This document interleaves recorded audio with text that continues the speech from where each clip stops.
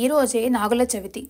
నాగుల చవితి పురాణ కథ విన్నవారికి నాగదోషం తొలగి సంతానం వివాహం కలుగుతాయి. అంతా శుభమే జరుగుతుంది.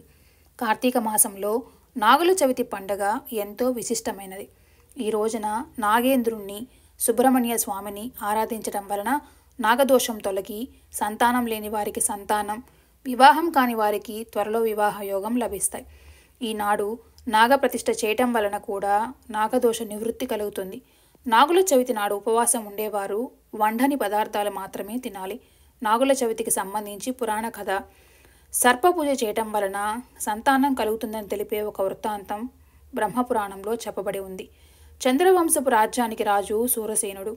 ఆయన భార్య లీలావతి. వారి ఇరువురు దంపతులకు చాలా కాలం నుండి సంతానం లేక మానసికంగా కుంగిపోతూ ఉంటారు. అతని భార్య అయిన లీలావతి సంతానం కలగడానికి చాలా కాలం తపస్సు చేశారు. ఆమె తపస్సు ఫలించి ఆమె గర్భవతి అయింది. కానీ ఆమె ఒక సర్పానికి జన్మనిచ్చింది. ఆ సర్పాన్ని వారు కాదనలేక బిడ్డగా స్వీకరించి పెంచుతూ వచ్చారు. కొంతకాలం గడిచిన తర్వాత ఆ సర్పం మనుషుల వలె మాట్లాడడం మొదలుపెట్టింది. అందరిలాగే తనకు అన్ని ముచ్చట్లు జరగాలని నాకు ఉపనయనం జరిపించాలని వారి తల్లిదండ్రులైన సూరసేనుడిని లీలావతిని కోరింది.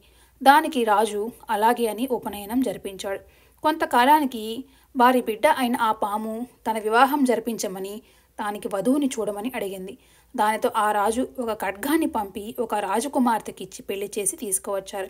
ఆమె అత్తారింటికి వచ్చి చూడగా తీరా తన వివాహం చేసుకుని ఒక పాముని తెలుసుకుంది. కానీ ఆమె ఏమాత్రం భయపడక ఆ పామునే తన భర్తగా అనుకొని కలిసిమెలిసి ఉండేది. ఒకనాడు ఆ పాము తన భార్యతో నువ్వు ఎందుకు నన్ను చూసి భయపడవు?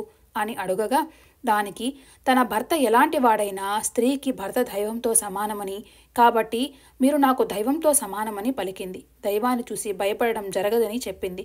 దానితో ఆ పాము నేను శివుని శాపం వలనే ఇలా అయ్యానని చెప్పి తన భార్యతో కలిసి నాగుల చవితి వ్రతం ఆచరించి గౌతమ నదిలో స్నానం చేసి మహాశివుని సమక్షంలో శాప విమోచనం పొందాడు. ఈ విధంగా సర్పంగా జన్మించిన ఆ పాము ఆ విధంగా నాగుల చవితి వ్రతాన్ని ఆచరించి సర్ప విమోచన జరిగి ఆ భార్యాభర్తలిద్దరూ కలకాలం పిల్లా పాపలతో సంతోషంగా జీవించారు. ఈ వృత్తాంతం పురాణాల్లో చెప్పబడి ఉంది. ఈ వీడియో కానీ మీకు నచ్చినట్లయితే మా ఛానల్ సబ్స్క్రైబ్ చేసుకోండి లైక్ చేయండి షేర్ చేయండి. ధన్యవాదాలు.